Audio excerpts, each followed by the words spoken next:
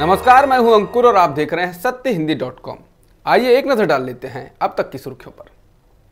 CBI के पूर्व अतिरिक्त निदेशक और रिटायर्ड आईपीएस अधिकारी एम नागेश्वर राव ने स्वामी अग्निवेश के निधन पर एक विवादित ट्वीट किया है, जिसके बाद लोग उनकी जमकर आलोचना कर रहे हैं। पूर्व आईपीएस अधिकारी ने लिखा है कि स्वामी अग्निवेश से अच्छा छुटकारा मिला। तुम भगवा वस्त्रों में एक हिंदू विरोधी थे। तुमने हिंदुत्व को बहुत नुकसान पहुँचाया। मुझे शर्म आती है कि तुम एक तेलुगु ब्राह्मण पैदा हुए थे। मुंबई में नौसेना के पूर्व अधिकारी की पिटाई के आरोप में गिरफ़्तार शिवसेना नेता और पाँच अन्य लोगों को पुलिस थाने से जमानत मिल गई है। आरोप है कि एक पूर्व नेवी अफसर पर शिवसेना के कार्यकर्ताओं ने इसलिए धावा बोल दिया क्योंकि उन्होंने महाराष्ट्र के मुख्यमंत्री और शिवसेना के सुप्रीमो उद्धव ठाकरे के एक कार्टून को फॉरवर्ड किया था। पिटाई की घटना सीसीटीवी में कैद हो गई थी और सोशल मीडिया पर जमकर शेयर भी की जा रही है। दस दिन पहले अरुणाचल प्रदेश से गायब हुए पाँच भारतीय नागरिकों को चीन ने आज वापस सौंप दिया है। भारतीय सेना ने इस बात की पुष्टि कर दी है। इसके साथ ही कहा गया है कि अब इन लोगों को प्रोटोकॉल के तहत अगले चौदह दिनों तक क्वारंटीन में रहना होगा, जिसके बाद इनको परिवार को सौंप दिया जाएगा। केंद्र की मोदी सरकार द्वारा लाए जा रहे तीन कृषि अध्यादेशों को लेकर भारत के कृषि प्रधान राज्य हरियाणा और पंजाब के किसानों में ज़बरदस्त गुस्सा है।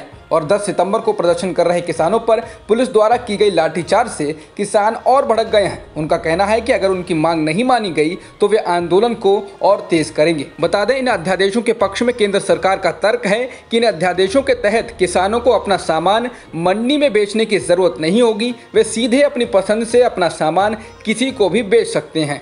और निजी क्षेत्र में किसी भी व्यापारी या कंपनी से सीधे करार कर फ़सल का मूल्य निश्चित कर सकते हैं। तो वहीं किसानों का कहना है कि केंद्र सरकार मौजूदा मंडी व्यवस्था का खात्मा कर रही है और लॉकडाउन के चलते समूचे कृषि क्षेत्र को कॉरपोरेट घरानों के हवाले करना चाहती है। कांग्रेस के पूर्व अध्यक्ष राहुल गांधी ने कोरोना वायरस से निपटने की तैयारी को लेकर एक बार फिर मोदी सरकार पर बड़ा हमला बोला है। राहुल गांधी ने कहा कि कोविड के खिलाफ मोदी सरकार की सुनियोजित लड़ाई ने भारत को रसातल में पहुँचा दिया है। जीडीपी में ऐतिहासिक 24 प्रतिशत की गिरावट 12 करोड़ नौकरियों का जाना 15.5 लाख करोड़ रुपए का अतिरिक्त फंसा कर्ज, दुनिया भर में रोज़ाना कोरोना के सबसे ज़्यादा मामले और मौतें भारत में हैं, लेकिन भारत सरकार और मीडिया के लिए सब चंगासी। बिहार चुनाव से पहले आज राजधानी पटना में बड़ी बैठक हुई। दो दिनों के सूबे दौरे पर बीजेपी चीफ जेपी नड्डा ने जेडीयू प्रमुख और मुख्यमंत्री नीतीश कुमार से भेंट की। सीएम हाउस में यह बैठक करीब एक घंटे तक चली, जिसमें भाजपा प्रभारी भूपेंद्र यादव और डिप्टी सीएम सुशील कुमार मोदी मौजूद रहे। इस बैठक में गठबंधन और सीट बंटवारे को लेकर दोनों के बीच चर्चा हुई। प्रधानमंत्री मोदी ने एक बार फिर लोगों से अपील की है कि वो कोरोना के प्रति लापरवाही ना दिखाएँ। पीएम मोदी ने कहा कि जब तक दवाई नहीं मिल जाती है, तब तक नागरिकों को ढिलाई नहीं बरतनी चाहिए। देश में बढ़ते कोरोना मामलों के बीच अच्छी खबर यह है कि देश में विकसित हो रही कोरोना वैक्सीन के जानवरों पर किए गए परीक्षण का परिणाम सुखद रहा है।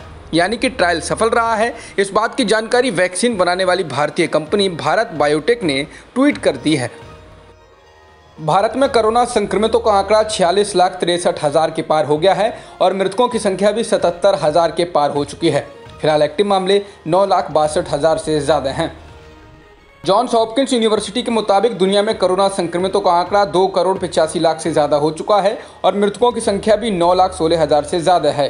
वहीं वर्ल्डोमीटर्स वेबसाइट के मुताबिक अभी तक दो करोड़ से अधिक लोग ठीक भी हो चुके हैं। जॉन्स हॉपकिंस यूनिवर्सिटी के अनुसार अमेरिका में कोरोना संक्रमितों का आंकड़ा चौसठ लाख पैंतालीस हज़ार के पार हो गया है और मृतकों की संख्या भी एक लाख तिरानवे हज़ार से ज़्यादा हो गई है। वहीं ब्राज़ील में बयालीस लाख बयासी हज़ार संक्रमण के मामले आ चुके हैं और एक लाख उनतीस हज़ार से अधिक लोगों की मौत भी हो चुकी है। अब तक की खबरों में इतना ही। बाकी खबरों के लिए बने रहिए सत्य हिंदी डॉट कॉम के साथ।